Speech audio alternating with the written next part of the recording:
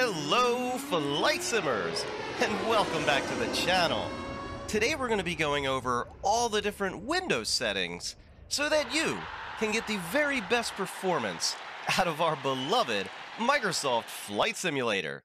So if you think that sounds interesting, then I think you should stay tuned right here for today's episode of 2020 Flight Simmers. Acknowledge, please. Acknowledge, please. Where are you? It's okay, Jack. It's not okay. I got a small plane here. I don't know where it is. Jack. A fly landed on your screen.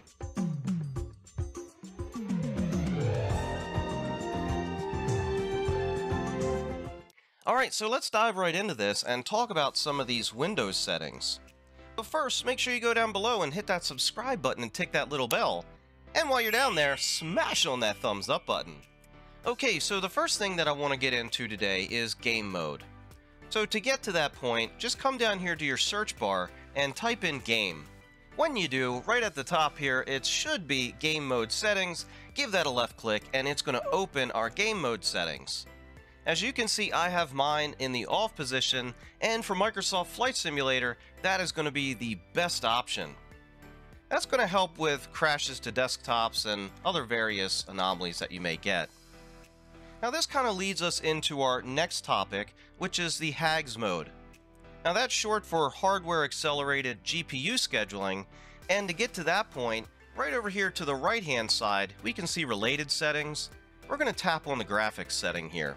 And when we do, this is going to open up the different graphics settings that we can choose for the PC. So currently I am testing HAGS mode on. Prior to the latest hotfix and the latest NVIDIA driver, I was not able to keep HAGS mode in the on position. I would constantly get crashes to the desktop. And if anybody else has been doing testing with this, please post your results down in the comments section and your system specs. This will really help our viewers whether this is a good option to keep on or not. As of right now, I really can't say, other than off has always worked well, so test at your own will. So underneath of the HAG setting, we have the graphics performance preference, and this is where we can set the performance preference for Microsoft Flight Simulator. You just want to left click on that, go to options, and now we can choose our preferred performance setting. Once you do, you're just going to highlight what you want, give it a click, hit the save button, and you're all good to go on that screen. Now keep in mind, if anybody has any questions along the way, please post those down below in the comments as well, and I'll try to answer those as best as I can. Alright, so let's move on to our next topic, and that's going to be the virtual memory. Now, a lot of people may not know how to get to this, so just come right down here to the search bar again, and just type in performance. When you start typing in performance, you're going to see a setting menu here that comes up that says adjust the appearance and performance of Windows. So we're just going to left click on that and it's going to bring up a nice little dialog box here so that we can set a couple things. We want to step over here to the tab that says advanced and tick on that with your left mouse button. Under the advanced tab, we have the processor scheduling. Now this is going to choose how to allocate the processor resources or power, where you want it to go, on your main program you're using or your background services. There's been a lot of debate on what to choose for this, so I ask the community here to post your comments down below. Let me know what you use and your system specs. But for me, I just leave it on programs and I'm good to go. So right underneath of that, we have the virtual memory page, and you want to come over here and click change. Now this is going to be most important for the simmers that only have 16 gigs of memory. This is also probably going to help maybe for those of you have 32 gig, but any higher than that, you really don't have to worry about this part. So the first thing that you want to do, and most of the time this is probably going to be ticked up here at the top that says automatically manage paging size. So you want to untick that. Now, as you can see, I have two different SSD drives on this PC. So I'm just going to pick the drive that I want to use the paging size on, and that's going to be my C drive. And then we want to come down here below and tick the custom size button. Now when you click that custom size button, this is now going to open up for us and allow us to put numbers in here. Now, this is also a hot topic of debate there's a lot of confusion what numbers to put in here. So we're going to go over that right now. So the paging size is going to have two different figures. You're going to have the initial size, which would be the minimum, and you're going to have our maximum size. So now let's talk about how to figure out what to put in here. Now we're going to get into a little bit of math and go over how we come up with these figures.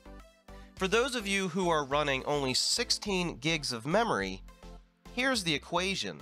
For the initial size, or the minimum paging size, you're going to take 1.5 times 16,000 megabytes. That's going to equal 24,000 megabytes, or 24 gigabyte.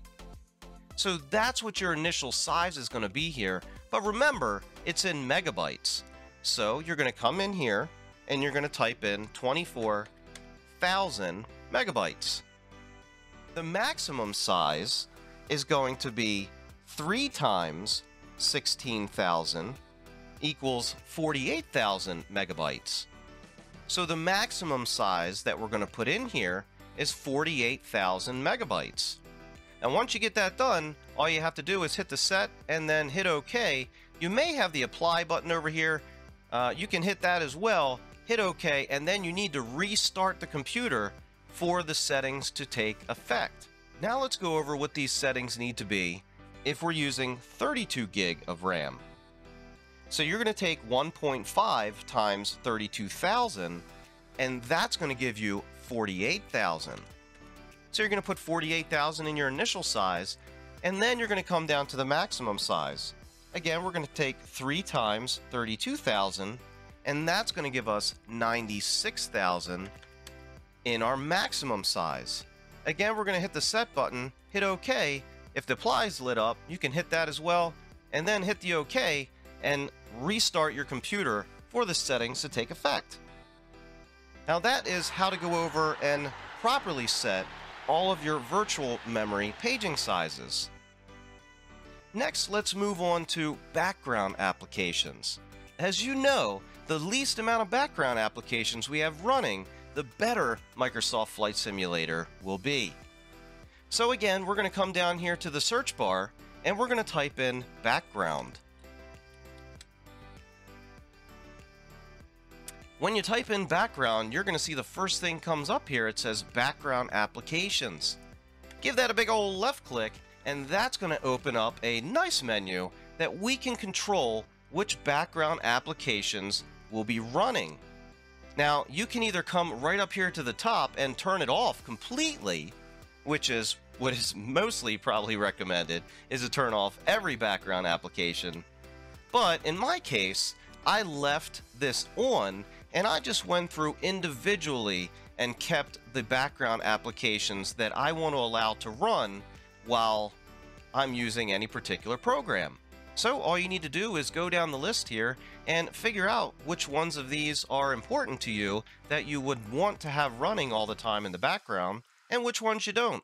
So this is going to help try to release some of those resources from your CPU. And this is the reason why in the performance options under the advanced tab, I keep this on programs because I manually come in here and turn off all of my background applications I don't want running anyway. So just a little pro tip for you. Now we're going to talk about another very important topic, which are the power settings for your PC. For those of you who have multiple things plugged into your USB ports and find that one of those USBs may drop out during flight, well, that's because your PC may be shutting down random USB ports to conserve on power. So to adjust those, all we need to do is come down to the search bar again and type in power. The first thing that's going to pop up here is edit power plan. Now you want to give that a big old left click and now we've got to do some adjusting in here. So the first things that we can set up is a turn off the display or put the computer to sleep. Now for me, I'm not using any laptop, and for those laptop users, you may want to adjust these settings so that your computer does go to sleep to save on battery. But for hardwired PCs, I want to keep this on never, and I also keep my display to turn off after 15 minutes, just in case I get up and walk away. Next, we're going to dive into the meat and potatoes of this, and we're going to click on the Change Advanced Power Settings. So the first thing you want to do is come over here and hit on the first drop down, and we're going to select the Ultimate Performance option.